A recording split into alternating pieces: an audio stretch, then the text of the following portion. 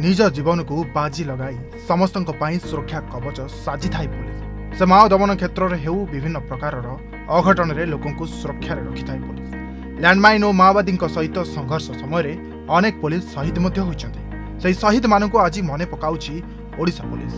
ଆଜି ଶହୀଦ ଦିବସ ଅବସରରେ ପୋଲିସ ମୁଖ୍ୟାଳୟରେ ରହିଥିବା ଶହୀଦ ସ୍ତମ୍ଭରେ ଶ୍ରଦ୍ଧାଞ୍ଜଳି ଦିଆଯାଇଛି ପୋଲିସ ଡିଜିଙ୍କ ସମେତ ସମସ୍ତ ବରିଷ୍ଠ ପୋଲିସ ଅଧିକାରୀ ଶ୍ରଦ୍ଧାଞ୍ଜଳି ପ୍ରଦାନ କରିଥିଲେ ଦେଶରେ ଦୁଇଶହ ପଞ୍ଚଷଠି ଜଣ ଶହୀଦ ହୋଇଥିବା ବେଳେ ଓଡ଼ିଶାରେ ତିନି ଜଣ ପୋଲିସ ଯବାନ ଶହୀଦ ହୋଇଛନ୍ତି ତେବେ ରାଜ୍ୟରେ ମାଓ ଆକ୍ରମଣରେ ଶହୀଦ ହେଉଥିବା ପୋଲିସ କର୍ମୀଙ୍କ ସଂଖ୍ୟା ମଧ୍ୟ ପୂର୍ବବର୍ଷ ତୁଳନାରେ କମିଛି ତେଣୁ ଓଡ଼ିଶାର ତିନି ଜିଲ୍ଲାକୁ ମାଓମୁକ୍ତ ଜିଲ୍ଲା ଭାବେ ଘୋଷଣା କରିବା ପାଇଁ କେନ୍ଦ୍ର ସରକାରଙ୍କ ପାଖରେ ଦାବି ରଖାଯାଇଥିବା କହିଛନ୍ତି ଡିଜିପି ଅଭୟ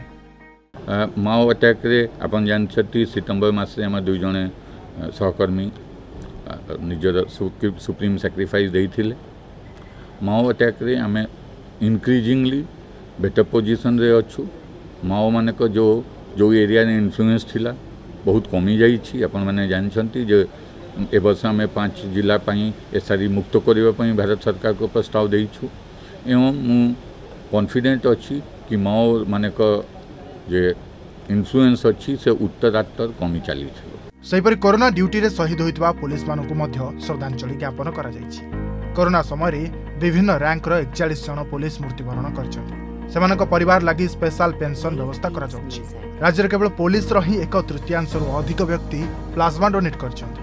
ଯାହା କହିଛନ୍ତି ଡିଜିପି ଅଭୟ କରୋନାରେ ଯେ ପୋଲିସ କର୍ମଚାରୀ ଡ୍ୟୁଟି କରୁଛନ୍ତି ତା ପ୍ରତି ମୁଁ ନିଜର କୃତଜ୍ଞତା ଜଣାଉଛି ଓଡ଼ିଶାର ଲୋକ ସାଙ୍ଗେ ମିଶିକି କରୋନାର ଆମକୁ ମୁକାବିଲା କରିବାରେ ଅଛି मु गोटे आउ विशेष धन्यवाद देशार पुलिसकर्मी मान को कि कोरोना टाइम रे प्लाज्मा डोनेसन रे से माने बहुत आगे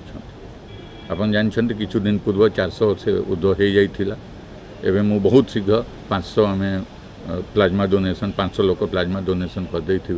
पूरा ओडा जे टोटल प्लाज्मा डोनेसन होता वन थर्ड से टिके बेसी